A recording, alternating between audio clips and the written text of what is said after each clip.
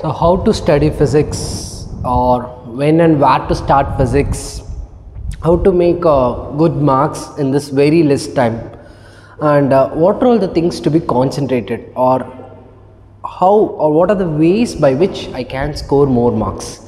These are all the questions which is in my social media from every student. So let me answer with few tips by which you can increase your marks because the real frame is we got very less time. In this very less time, you need a right strategy and right path to increase your marks.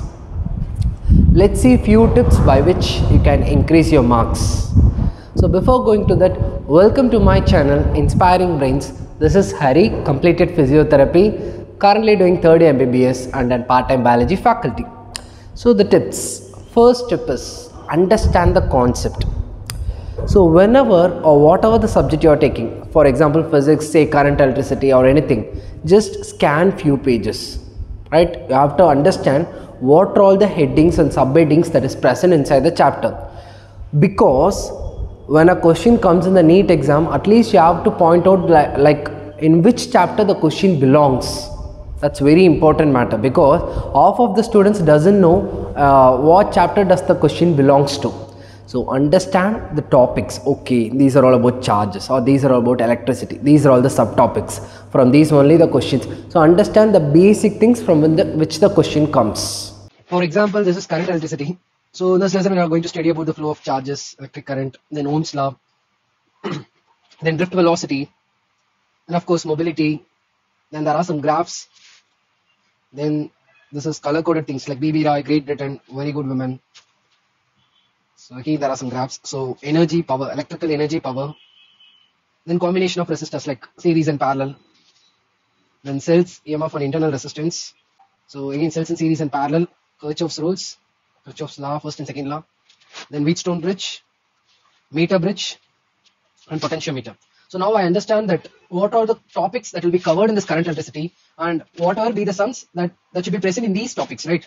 Second is formula list. Make your form, own formula list. See, whatever you're studying, you just arrive some conclusions, right? So these are all the epic formulas which you can use directly into your problems and get the answers.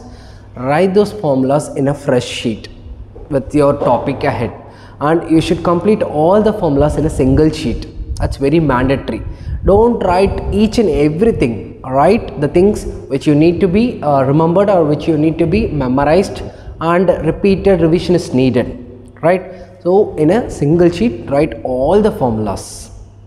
For example this is my formula book for uh, current electricity. So i just have noted for voltage division and current division rule. And Kirchhoff's current law is also called as law of conservation of charges.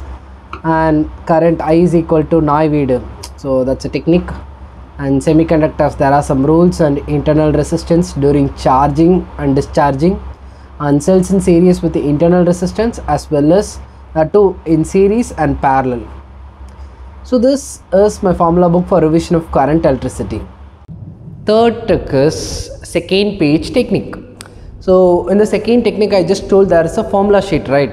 The next page of the formula sheet should be blank. That's called the second page. What is the need of this blank is very simple. Whenever I am attending some questions or whatever my teacher says regarding the chapter or whatever the tricks I got from solving the things that should be written in that second page. That's very very very important. The things you acquired from solving the chapter should be written in this page for example if i got a special thing which i'll forget in a due course of time should be written in that page so frequent revision will increase the target right? So this is called a second page technique. So for example so this is the formula list and the next page i just left it out for free. And after solving all these questions what i'll do is so these are all the things which i actually got from solving the questions. So and i just write it conditions for current to be maximum in series and parallel and bulbs in series lower watt bulb will get more current and glow brighter whereas in parallel it will be opposite. And there are some circuit connection and there will be equivalent resistance. So these are all the things which i got from solving the questions. And i just noted down in the second page. So the first page is for formula the second page for the things which i got through solving the things. Fourth trick is attending previous year question. So once you've done all these things just revise the formulas then go to the previous year questions say previous question in each chapter regarding the physics there will be subtopics right? Or 6 to 7 subtopics per chapter will be present. And at least you should attend 10 to 12 questions from each subtopic. That's very important 10 to 12 questions. And when you attend the questions you acquire something right? Some important tricks or some important shortcuts or some important things that you can uh, easily shade from the questions itself. Write those important points in the second page and the second thing you have to do is mark some important questions. Sir how i can calibrate the importance? It's very simple. If i solve this one questions then remaining questions should be easy. So mark the questions like those. So from each topic mark two or three questions not more than three right? Two or three questions from each subtopic of the chapter. This is very important for the final revision right and the question uh, the uh, the point of choosing the question is that questions will have to help you to solve the entire thing right? This is all about previous year questions.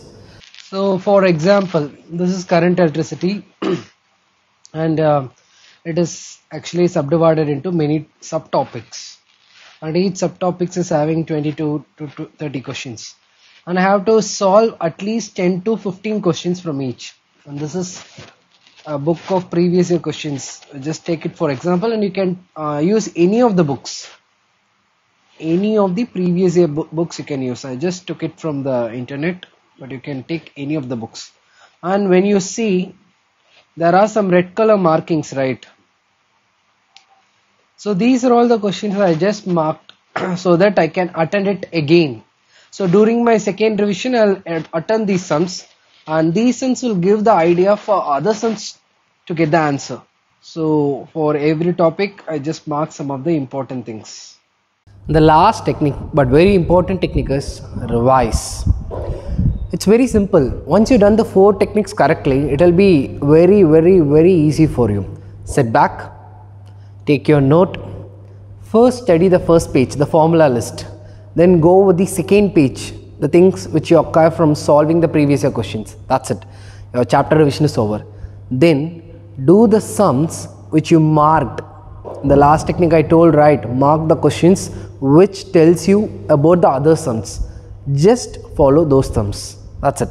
So once you finish this revision is also over and you can maximize your marks in all the chapters rather than wasting times in solving thousands and two thousands of questions so these are all the five important tricks or techniques by which you can maximize or double your physics score and so called the topper strategy. And finally the giveaway alert is actually going on. And if you want to enroll in it just go through the rules that is given in the telegram and the link is given below in the description. And if you want to uh, discuss something just put it in the comment box below. We'll we'll do in the next video and spare a few seconds in subscribing my channel as a token of appreciation. Thank you